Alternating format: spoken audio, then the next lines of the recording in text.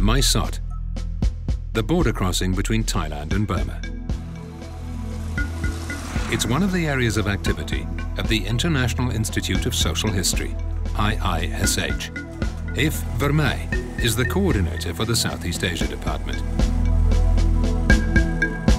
His contact with the Karen Human Rights Group has come to a decisive stage. The group has a large number of files that reveal the oppression of the Burmese government. They want to give that material for safekeeping to the IISH.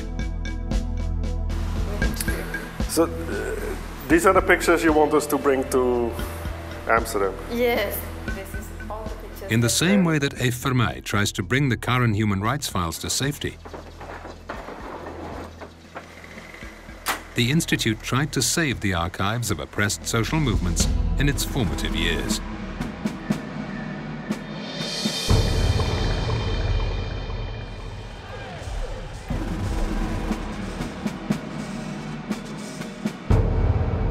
The first librarian of the IISH, Annie Adama van Scheltema, made every effort to save the heritage of Marx and Engels and their followers from the control of the European totalitarian regimes. Archives and collections of Russian revolutionaries, German socialists and Spanish anarchists were brought to the Netherlands in secret to receive a safe place in Amsterdam. IISH's strength lies mainly in being there where rescue work is necessary. Gradually, the Institute didn't focus solely on Europe. In Europe, other countries acquired archives and institutes that could store this kind of material. Dutch emancipation movements, such as Provo, became popular.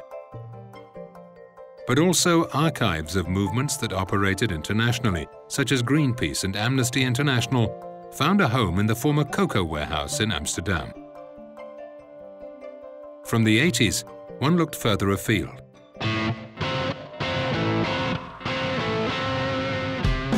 Turkish unions and organizations, Latin America, Iran, India, and Bangladesh.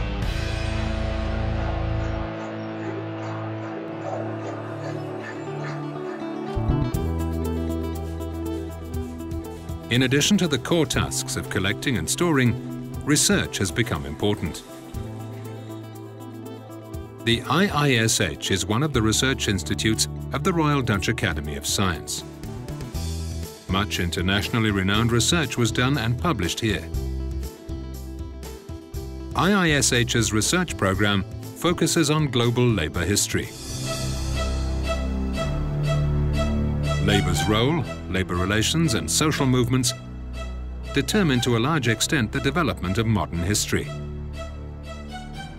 In the past 500 years, events on one continent have strongly influenced the circumstances on another continent. Revealing these sorts of connections are at the core of global labour history.